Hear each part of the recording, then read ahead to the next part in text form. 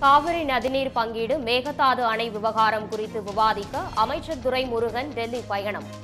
ஒன்றிய ஜல்சக்தி துறை அமைச்சர் மற்றும் காவிரி மேலாண்மை ஆணைய தலைவரை சந்தித்து முறையிடுகிறார்.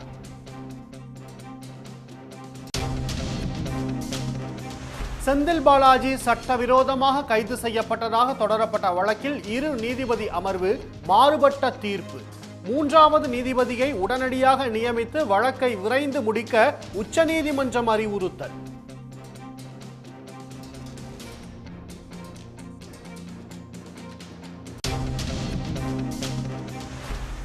அமலாக்கத்துறைக்கு வழங்கப்பட்டுள்ள அதிகாரங்களை கட்டுப்படுத்தாவிட்டால் தனிமனித பாதுகாப்பு கேள்விக்குறியாகும். உச்சநீதிமன்றத்தில் அமலாக்கத்துறை மீது மூத்த வழக்கறிஞர் ஹரிஷ் சால்வே சரமாரி கேள்வி.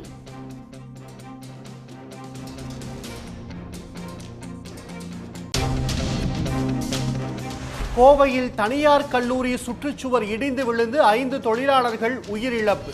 கட்டுமான பணி மேற்கொண்ட ஒப்பந்ததாரர் மீது வழக்கு பதிவு செய்து விசாரணை.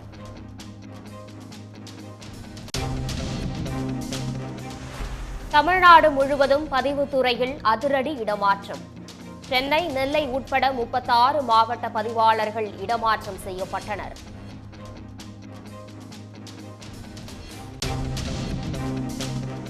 நீலகிரி மாவட்டம் குன்னூர் உதகை உள்ளிட்ட பகுதிகளில் பரவலாக கனமழை.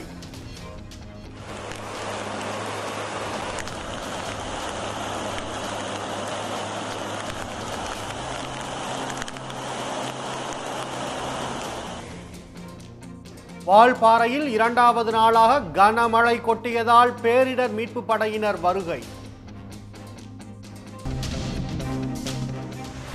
தமிழ்நாட்டிலிருந்து இயக்கப்படும் ஏழு ரயில்களில் இரண்டாம் வகுப்பு பெட்டிகள் குறைப்பு. நீண்ட தூர ரயில்களில் ஏசி பெட்டிகளின் எண்ணிக்கை அதிகரிப்பால் பயணிகள் அதிர்ச்சி.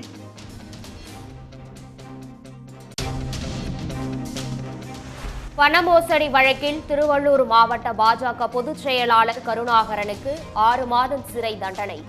தொழிலதிபரிடம் ஏழு லட்சம் ரூபாயை பெற்றுக்கொண்டு மோசடி செய்த வழக்கில் திருவள்ளூர் நீதிமன்றம் தீர்ப்பு.